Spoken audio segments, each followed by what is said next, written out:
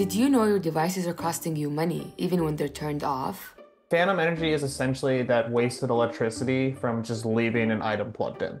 That's why some people also call it vampire energy because your devices are still sucking power, and this invisible drain is adding up. CO2 is being pumped up in the air whether or not we're using that electricity or not. In the US alone, it's about $22 billion worth of waste altogether. For the average family, the hidden waste shows up on their overall yearly utility bill, even if they never realize it's happening. It's about 100 to $200. That's their average US household, so about four people living in that household. But it's not just about saving money. What we do at home, whether it's unplugging or making smarter choices, actually makes up a big piece of America's climate footprint. The household sector is responsible for somewhere between 35 and 40 percent of direct greenhouse gas emissions in the US. That means what happens in our kitchens, living rooms, and garages can be just as important as what happens in factories or power plants. And studies show that when households make small but consistent changes, the impact is massive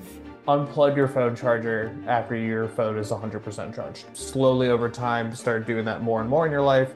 Maybe do kitchen appliances and then start moving into your other aspects of your life, unplugging your TV, unplugging that lamp you're not using, things like that.